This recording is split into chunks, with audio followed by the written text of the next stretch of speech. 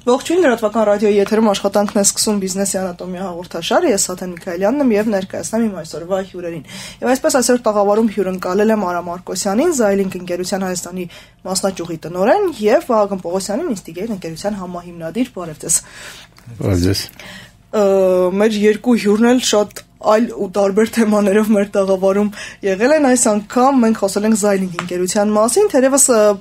պետք է խնդրեմ սկզբից ներկայացնել, թե ինչով է զբաղվում Zylink ընկերությունը։ Շատ լավ, երևի ես սկսեմ երկու բառ ասեմ, հետո Վահագնը կշարունակի։ Կավելացնի, հա։ Նախ նախ եւ առաջ ասեմ Zylink-ը ինչպես է գրվում, որ մարդիկ հետո տեսնեն գրված վիճակով հասկանան, որ դրա մասին է խոսքը, X-ով է գրվում, X-ով, եթե հայերեն ասենց པարզ լեզով կարդանք, կհնչի Xilinx բայց քանի որ անգլերեն ինքը հնչում է Xilinx, մենք էլ ասում ենք Xilinx այստեղ։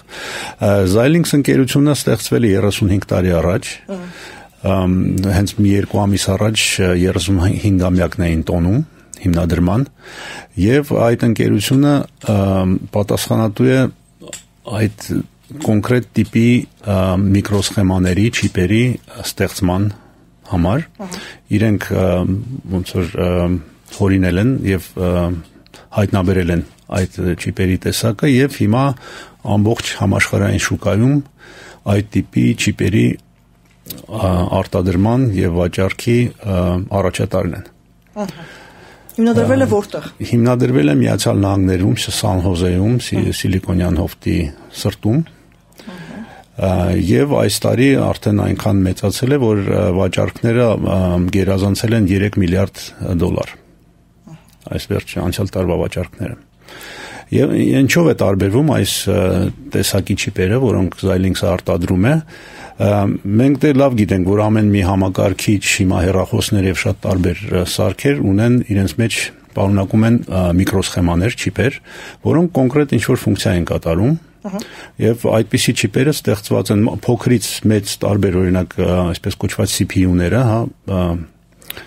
որոնք ոնց որ սիրտն են համակարգչի չնայած իրենք շատ բարդ են, շատ տարբեր ոնց որ ընդհանուր նպատակ ծառայող հաշվարկներ են կատարում, բայց իրենք կան կատարում են կոնկրետ ֆունկցիա, այսինքն իրենք ստեղծված են կոնկրետ ֆունկցիա կատարելու համար։ Երբ որ չիպը արտադրված է արդեն ինչ մուտք տան, արդեն ոնց որ որոշված է եւ հայտնի է թե ելքում ինչ կստանանք։ Xilinx-ը արտադրում է չիպ, որը կոչվում է անգլերեն ասում են FPGA, Field Programmable Gate Array Չնայած այդ անունը ոչինչ չի ասում, դրա իմաստն այն է, որ ինքը ոնց որ ծրագրավորվող չիպ է, այսինքն թե ինչ ֆունկցիա այդ չիպը կկատարի, որոշում է օգտագործողը։ Այսինքն մենք մի քիչ ունիվերսալ է, այսինքն մենք իրենք իր ինչ որ ձևով կարող ենք ծրագրավորել եւ ձևափոխել, որpիսի ինքը կատարի այս կամ այն ֆունկցիան։ Ու սրա հաշվին դարձել է աշխարհում առաջատար ընկերությունը։ Այդ տիպի չիպեր արտադրող ամենաառաջատար ընկերությունն է։ Գոյություններ ուրիշ ընկերություն, որ ամենամեծ մրցակիցը Xilinx Xilinx-ի Altera էր կոչվում, այդ ընկերությունը, որին գնաց Intel-ը, որպիսի այդ տիպի չիպի տեսակ ինտեգրի իր լուծումների, այո, CPU-ների մեջ, այսպես ասենք։ Ինչի համար ու ոնց ստացվեց, որ այդ խոշորագույն ընկերությունը մասնաճյուղ է բացում Հայաստանում ու այդ գործառույթների որ մասն է հայկական մաս, Հայաստանի մասնաճյուղն իրականացնելու։ Ինձ ասում։ Ով ով կպատասխանի։ Լավ, ասեմ ինչի համար է Հայաստանում բացվում ընկերությունը։ Հայաստանում է որոշել մասնաճյուղ բացել այս ընկերությունը, քանի որ մրցակցությունը ինժեներների, տաղանդավոր ինժեներների գտնելու եւ գործի ոնց որ ընկերությունները իրենց մոտ ներգրավելու հա իրենց աշխատանքների մեջ շատ բարձր է հիմա կոնկրետ այսպիսի մասնագետներ աշխարհում շատ քիչ կան եւ չգիտեմ արդյոք ունկնդիրները մեր ծանոթ են թե ոչ բայց Հայաստանը այդպիսի էլեկտրոնային ավտոմատ ավտոմատ նախագծման կենտրոններից մեկն է։ Եթե չեմ սխալվում, ես կոնկրետ թիվը չեմ հիշում, կարող է Վահագնից հուշի, բայց ամբողջ աշխարհում ավտոմատ նախա չիպերի ավտոմատ նախագծման արտադրանքի երևի 5-ից 10%-ը Հայաստանում է ստեղծվում։ Եվ դա հայտնի փաստ է Սիլիկոնյան հովտում եւ որոշ ընկերություններ, որոնց պետք են այդպիսի հենց այդպիսի մասնագետներ եւ այդպիսի մշակումներ գիտեն եւ տեղյակ են Հայաստանից։ Դրա համար Xilinx-ը քանի որ շատ արագ հաջող ընկերություն է եւ այդպիսի պահանջներ ուներ, եւ մի քանի հայ պայծառ ինժեներներ աշխատողներ ունեն այնտեղ արդեն 1 տարի է որ ցանկանում են գալ Հայաստան եւ բացել այստեղ մասնաճյուղ, որը իրականացավ այս տարվա հունվարին եւ մայիսին մենք կսկսենք արդեն մեր առաջի ինժեներների խումբը կսկսի աշխատանքը։ Ահա մասնագետների մասին, այ մշտապես խոսում ենք, որ IT ոլորտն քիչ ոլորտներից մեկն է, որտեղ միշտ կա թափուր աշխատատեղ, այսինքն միշտ կա մասնագետների պակաս, բայց չկան այդ մասնագետները, ոնց է կես հարցը լուծելու։ Արդյոք այս մասով մասնագետներով ապահոված է, թե դարձել էլի առնվազն Վահագը իր սեփական փորձով գիտի ու կրթական կենտրոններն էլ դրա համար են, որպեսզի սեփական այսպես մասնագետներին աճեցնի։ Այո, այս ոլորտում Հայաստանը թե խորթային միության տարիներին, թե հիմա շատ մեծ դեր է խաղում ամբողջ աշխարհում եւ կան մի շարք ընկերություններ Հայաստանում, որ այդ ոլորտից են, այրովի ամենահայտնիներից Synopsys եւ Mentor Graphics ընկերությունները, Instigate Design-ը նույնպես 2004 թվականից հենց այդ ոլորտի մեջ է եւ մենք բոլորս էլ ստիպված ենք եղել մեր ուսումնական կենտրոնները ստեղծել, որովհետեւ համալրենք մեր անձնակազմը, որովհետեւ ճիշտ է լինելով էլեկտրոնային ավտոմատ նախագծման մեջ մասնագիտացած երկիր ՀԽՍ հտարիներին նաև համալսարանն է շատ ուժեղ եղել եւ դասընթացները համապատասխան եղել են մի քանի համալսարաններում, ԵՊՀ-ում եւ Պոլիտեխնիկի մի քանի ֆակուլտետներում հիմնական այդ ոնց որ դպրոցի հիմնադիրներից մեկը հենց Արայի հայրիկն է Ստեփան Մարկոսյանը, ում ուսանողները այսօր այդ բոլոր ընկերություններում աշխատում են եւ իրենց աշխատանքային թիմը նաեւ պրակտիկ, ասենք, Մերկելյան ինստիտուտում եւ մի քանի գիտահետազոտական կենտրոններում զբաղվում էր հենց ավտոմատ նախագծման պրակտիկ գործով ոչ միայն դասախոսային, ոչ միայն մաթեմատիկոս, գրաֆների տեսության մեջ նաև նշանակալի արդյունքների հասած, այլև հենց այդ այդ մաթեմատիկան կիրառում էին միկրոսխեմաների նախագծման համար կիրառական մաթեմատիկայի ֆակուլտետում դիսկրետ մաթեմատիկայի ամբիոն։ Եվ իրենք պատրաստում էին ուսանողներին այդ հիմնարար գիտելիքներով, իսկ խորհրդային միության փլուզումից հետո երբ որ այս ընկերությունները եկան Հայաստան ու արդեն տեխնոլոգիաները նոր էին եւ կիրառական մասը ծրագրավորման մասը, որը այդքան լավ չէր փակում համալսարանը, այլ մեն գիտելիքներ ապահովում, գիտությունը այդ մաթեմատիկայից գծային անհրաժեշտ կոմբինատորիկա, կոմբինատոր օպտիմիզացիա, գրաֆների տեսություն եւ այլն այդ առարկաները ինչ միշտ էլ ունեն նույն պահանջարկը, այդ նույն դասընթացի 40 տարի առաջվա դասընթացի, բնականաբար կան նոր արարություններ նաև այդ հիմնարար գիտությունների ոլորտում, նոր ալգորիթմներ, նոր մոտեցումներ, նոր մաթեմատիկական խնդիրների ձևակերպումներ եւ իրանց լուծումներ, բայց հիմքը էլի մնում է նույնը, այդ դասընթացը ինքը արժեք ունի։ Բայց կա երկրորդ մասը, պրակտիկ մասը, որի համար մենք բոլորս ունենք մեր ուսումնական կենտրոնները, որը երկրորդ մասը մի քիչ հեշտ է, ասենք ծառային խփած հայտարարության մակարդակ է, էլի, ասենք C++ սովորացնեմ 20 օրում, ասենք այդ կարգի դասընթացներ են։ Այն ինչ որ համասարանը չպետք է լանի։ Այսինքն մենք մենք այդ միշտ ասել եմ, էլի, ես այդ երբ որ ստարտափները sense գալի մտնում են համասարան ու սկսում են sense պահանջներ ներկայացնել ուժեղ համասարանները իրենց բանի տեղ չեն դնում։ Որտեղ իրանք շատ լավ գիտեն, որ հիմնարար մաթեմատիկան, հիմնարար գիտությունները նոր մի քանի տարի է տևում, մի քանի սեմեստրում են սովորում, դա ոչ մի ինժեներական կենտրոն չի կարող անել։ Իրանք կարող են մենակ այդ փինաչության մասը ապավեն, իսկ հիմնարար գիտությունը պետք է համասարանը տա, Եվ ուժեղ համասարանները իրանք չեն կուլ չեն գնում այդ ճնշմանը ստարտափների եւ իրանց մոտ Java-ի ու C++-ի դասընթացներ չեն մտցնում, այլ կենտրոնանում են իրանց մաթեմատիկայի վրա։ Հիմա մենք տենց ձևը գտել ենք ապրելու էլի, այսինքն համալսարաններից սպասում ենք ուժեղ հիմնարար գիտելիքով մասնագետներ մաթեմատիկայից։ Մնացածը ապահովում ենք մեր ուսումնական կենտրոններում 3-ից 6 ամսվա դասընթացների միջոցով դա հեշտ անել։ Դժվար է անել 3-4 տարի մաթեմատիկա սովորել է, բայց մենք Հայաստանում դեռ նույնիսկ այս բոլոր ոնց որ վարկաբեկումից հետո թե համասաների, թե համասանական կրթության, թե գիտության, թե այդ մեր ոլորտը, որ հարցակվում ամենաուժեղ ուսանողներին երկրորդ կուրսից տանում է Java-ով ծրագիր գրելու կամ C-ով ծրագիր գրելու, այդքանից հետո էլի ունենք դեռ ֆակուլտետներ, որտեղ մարդիկ մաթեմատիկա դեռ սովորում են, գոնե մինչև երկրորդ կուրս ցկում են ինչ որ հիմնարար մաթեմատիկա, մաթեմատիկան վերլուծություն, անալիզը եւ հանրաշիվ գրաֆներ տեսություն մի քանի ֆակուլտետներ կան Հայաստանում իրանք կարող են գալ եւ այս դասընթացի ընթացքում համ ավելի խորանան թե այդ ոլորտում եթե իրանց դուր է գալի գիտելիքա հենց ծրագրավորումը կիրառական մաթեմատիկան եւ դրա գործածությունը իսկական գործի իսկական ծրագրեր ստեղծելու մեջ թե նաև ձեռք բերեն են երկրորդ մասը պրակտիկ ոնց դա կիրառեն որ իսկականից միկրոսխեմայի վրա տարերը տեղադրեն կապերը ուղեգծեն գիտելիք ու այդ հրաշքը տեսնեն, էլի ոնց մաքուր մաթեմատիկան, գիտությունը օգտագործվում, որ այդ աննորմալ բարդ խնդիրը հանկարծ լուծվում է։ Ու դա միայն ծրագրավորում չի, այդտեղ կա մեծ քանակությամբ մաթեմատիկա գիտություն։ Շատ գեղեցիկ է, երաժշտության պես գեղեցիկ բան ընդհանրապես մաթեմատիկան, բայց ինքը պրակտիկ փաստորեն կիրառվում է, էլի, ասենք այդ։ Իսկական է, հա, դու իսկական բառ օգտագործեցիր։ Ինիկատնեմ իրական ասարք ստեղծելու համար օգտագործում է լրիվ sense վերացական մի բան երաժշտության պես, ոնց որ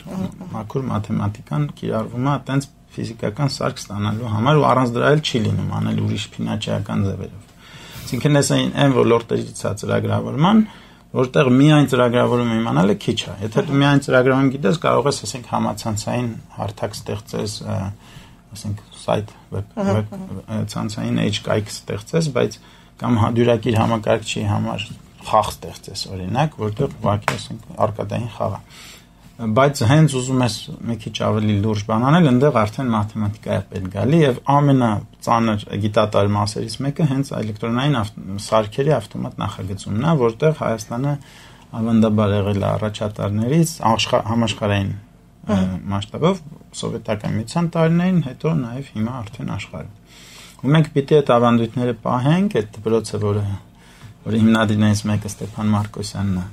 իր աշակերտներն են այդ Zylinks-ում աշխատում, որ տենց հաջողություններ են հասել, Zylinks-ը որոշել է Հայաստանում մասնաճյուղ բացել։ Մենք բոլորս էլ իր աշակերտներն ենք եղել, մեր ղեկավարն ա եղել, նաև հետագայում ասպիրանտուրայում եւ այլն։ և ու նաև աշխատանքի ժամանակը մեր ղեկավարը եղել։ Առաջին ընկերություններից մեկը, որ Արայիկ ենք Արայիկ հիմնադրել են Հայաստանում, Արսետ ընկերությունը, որը ավտոմատ նախագծման 1999-ին է հիմնադրվել։ 2004-ին Սինոպսիսը իրան գնելով եկել է Հայաստան, այստեղ Սինոպսիսի առաջին ավտոմատ նախագծման բաժինը եղել է այդ Արսետի ձեռբերումով։ Արսետի, այո հետագայում իրանք եւս մի ընկերություն ավտոմատ նախագծման ստեղծեցին, կոչվում էր Ponte Solutions, որին առավ մենտոր ընկերություն, դա երկու ընկերությունների առնվազն ավտոմատ նախագծման բաժինները Արայեկենց ու պարոն Մարկոսյանի մյուս ուսանողների շնորհիվ Վահագի եւ մեր բոլոր գոլեգաների հիմա երրորդ ոնց որ խոշոր ընկերությունն է գալիս այդ ոնց որ ակունքից Zylinks-ը, որը նույնպես ավտոմատ նախագծման խոշոր բաղադրիչ ունի իր մեջ։ Այսինքն իր իր այդ մանրասարքերը, այդ էլեկտրոնային սարքերը ծրագրավորվում են ոնց որ հատուկ գործիքների միջոցով, որոնք նման են էլեկտրոնային ավտոմատ նախագծման ծրագրերին։ Այսինքն սա ավանդ այս ուղղությունը ավանդաբար եղել է, այս ուղղության մեջ Հայաստանը ավանդաբար եղել է առաջատար ու խնդիր կա այդ ավանդույթը պահելու, հատկապես որ սա ոնց հասկանում շատ շուտ ասես ավելի լուրջ լուրջ բան է, քան ուղղակի օնլայն ավելի պահանջում այդ ֆունդամենտալ գիտությունների տիրապետում եւ կիրառություններ, սրա սրա միտ կիրառություններ, այդ շատ գեղեցիկ է այդ առումով բայց նաև պահանջում է համապատասխան կրթություն։ Եվ դասընթացը այդ առումով մի քիչ ավելի ծանր է, քան սովորական ծրագրավորման դասընթացը, որ ինստիտուտ ուսումնական կենտրոնը անում է։ Ճիշտ է, մենք քանի որ մեր ընկերություններից մեկը ինստիտուտ դիզայնը այդ ոլորտի ընկերությունն է, մենք միշտ դասընթացում ունեցել ենք ու այդ պատճառով հիմա Zylinks-ը ոնց որ մեզ պատվիրել է եւս այս անգամ արդեն իրանց համար անձնակազմ պատրաստել Բայց ամեն դեպքում հիմա շատ մեծացված դասընթաց է, մոտ 4 ամիս համարյա լրիվ դրույքով, այսինքն մոտ 600 ժամանոց կուրս է, քանի սեմեստրի համարժեք, այսինքն մագիստրական մասնագիտական կուրսի չափ, որը ընթացքում սովորելու են համ ծրագրավորում C++ լեզվի շատ բարդ կիրառություններ, համ մաթեմատիկական ճյուղը մի քիչ ավելի վրայով նորից անցնելու ենք համալսարանի անցածի, գծային հանրաշիվ, կոմբինատորիկա գրաֆների տեսություն, Եվ դրանց համադրում, այսինքն ինչպես ծրագրավորենք այդ գիտելիքը, այդ տեսությունը ինչպես վերցնենք եւ C++-ով ծրագրավորելով դարձնենք իրական աշխատող ծրագիր։ Այդ դասընթացը մոտ 6 ամիս է տևում։ Այդ 4 ամիս դասընթաց, 2 ամիս գործնական աշխատանք եւ ուսնակություն վճարվող ուսանական իրենք աշխատավարձ կստանան այդ ընթացքում Եվ հուսով ենք գոնե մինչև տարվա վերջ մի 40-ից 50 հոգի կընդունվի։ Ընդհանուր շատ ավելի մեծ թիմ է պետք, բայց հասկանում ենք, որ մի տարվա ընթացքում դա հնարավոր չի միանգամից հավաքելը։ Միջուկը արդեն հավաքված է թմի, իրանք ամսի 5-ից կարծեմ սկսում են աշխատել։ Մենք էլ այդ ընթացքում կփորձենք համալրել նոր մասնագետներով։ Հրավիրում ենք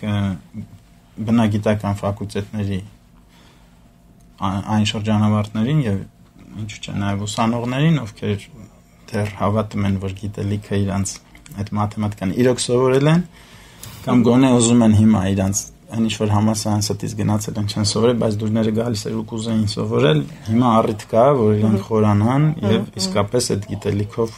ծրագրավորում անեն։ Ոնց է առհասարակ այս օրինակ ընկերությունների մուտքը փոխում ոլորտը Հայաստանում այսինքն տեղեկատվական տեխնոլոգիաների ոլորտի վրա ազդեցությունը ոնց է լինում եւ մասնագետների մասով եւ սրա շնորհիվ որ մենք ունեցել ենք այսպիսի դպրոց նաեւ հեշտացել է հնարավոր է դարձել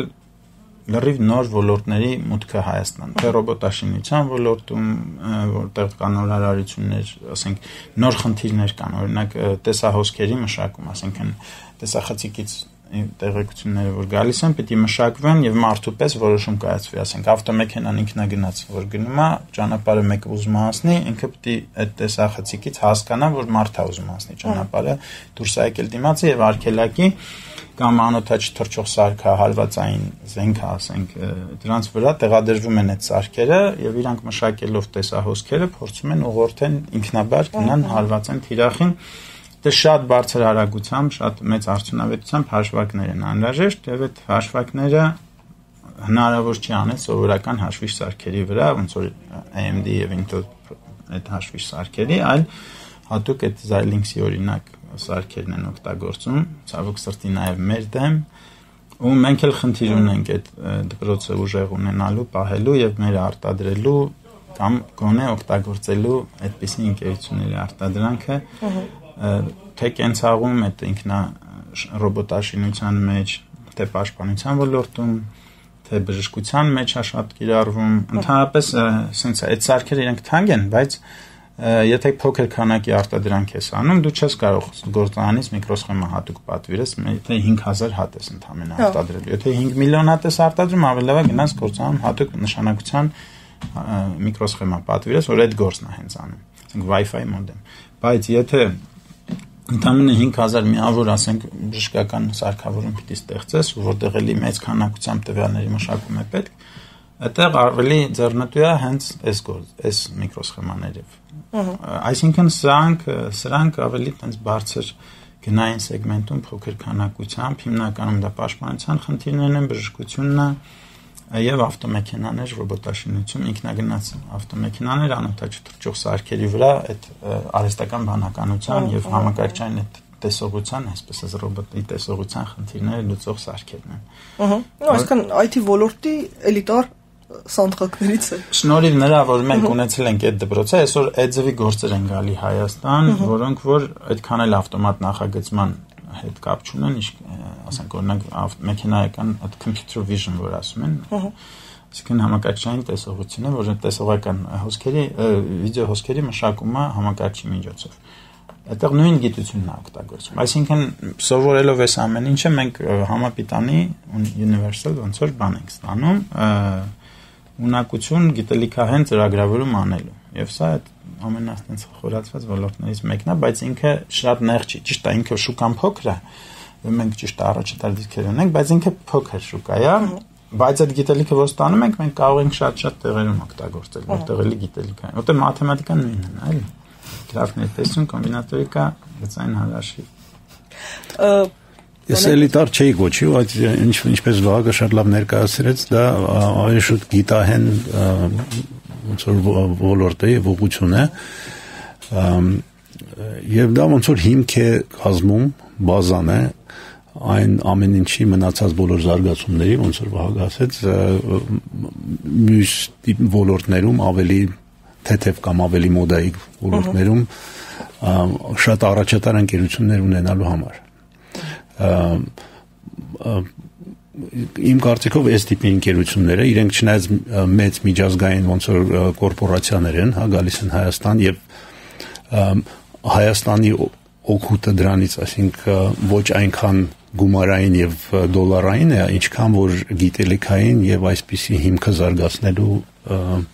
առիթ է տալիս։ Վերադառնալով դասընթացին,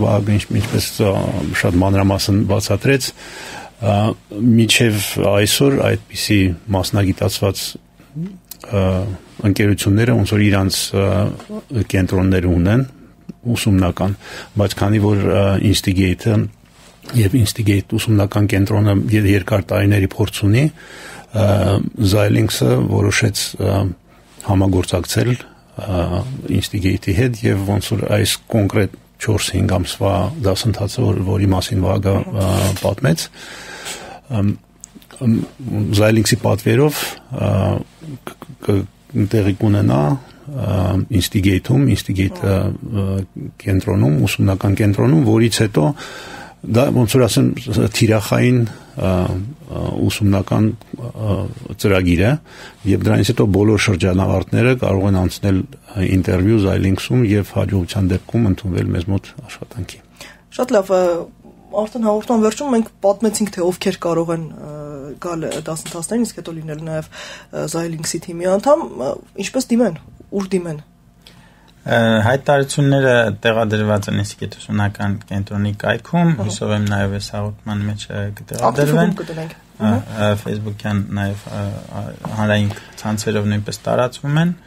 Կուզեի նաև վերջում ավելացնել, որ նպատակը երկարաժամկետ ավելի համագործակցության ոչ միայն այսպիսի դասընթացներն են, այլ համայնքներում նորից աշխուժացում է ճյուղի։ Մի քանի ֆակուլտետների հետ արդեն բանակցություններ են վարվում մենք միջ համալսարանական հետազոտական կենտրոն ենք նաև ստեղծում, որտեղ փորձենք այս տարբեր ֆակուլտետների գիտելիքները, որ անհրաժեշտ են այս գործը անելու համար, որտեղ մի ֆակուլտետ չի կարող ծածկել դա, իրանց բոլորի հետ համագործակցելով ստեղծենք մի կրթական կենտրոն, կրթական եւ աշխատական գիտարտադրական կենտրոն, որտեղ ուսանողները անցկացնեն իրենց ժամանակը ստանալով կրեդիտ իրանց համասանից, որտեղ բռնում է իրանց կրթության հետ բայց անեն իրական գործ այդ իրական հետազոտական գործ ոչ թե գործ մեր ընկերությունների համար այլ ավելի հետազոտական բնույթի որտեղից կարող են դուրս գալ տեխնացուական աշխատանքներ մագիստրական թեզեր որ เป զի այդ թեզերը չլինեն շատ կտրված իրականությունից եւ միաժամանակ մենք էլ քանի որ մեր ընկերություններում արտադրածքով ավելի շատ ենք զբաղվում ավելի հիմնարար հետազոտությունների համար սովորաբար համալսարանը պիտի աշխատի Հայաստանում մենք դրա կարիքը շատ ունենք եւ շատ ենք խոսում տեխնոլոգիական համալսարան ստեղծելու մասին, բայց այդ խոսակցությունները այս 10 տարին ցույց տվեց, որ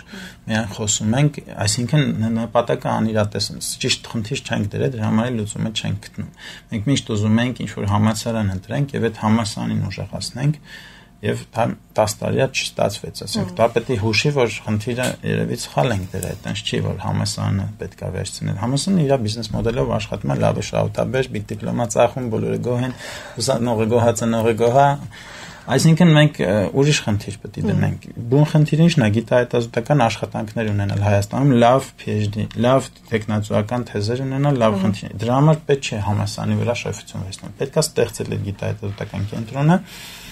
այն գիտաշխատողները տարբեր ինստիտուտներից, թե ակադեմիկ, թե կրթական ոլորտի ինստիտուտներից, ովքեր ցանկանում են եւ ունակ են դա անելու, իրանք կգան այդտեղ արդեն իրանց ֆակուլտետների հետ ընդհանրապես պիտի բանակցենք, հասկանանք ոնց են համագործակցում, որ իրանց ուսանողը մեր մոտ այդ ժամերը անցկացնելուց արտապատկերվի իրանց կրեդիտների վրա։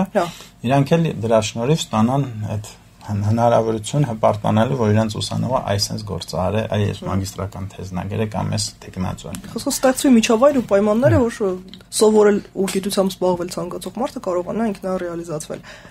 Եվ Զայլինգս ամբողջությամբ փաստորեն համամիտա այս ուղղությունը զարգացնելու հետ եւ մենք համագործակցելու ենք ինստիտուտի հետ եւ Վահագնի հետ այդ կենտրոնը այդպիսի կենտրոն կենտրոն ստեղծ առաջի առնվազն այդպիսի կենտրոն ստեղծելու։ Մենք իհարկե բարբերաբար կանրադառնանք այս գործընթացը ուշադրության կենտրոնում կպայենք։ Հիմա մեզ հատկացված եթե հրաժամնակը սպառվեց, այնպես որ այս ժամի համար այսքանը դադարտանք, բայց իհարկե թեման թեմային էլի առիթներ կունենանք անդրադառնալու գործընթացին ուշադիր կհետևենք։ Ձեր շնորհակալություն հրավերն ընդունելու համար։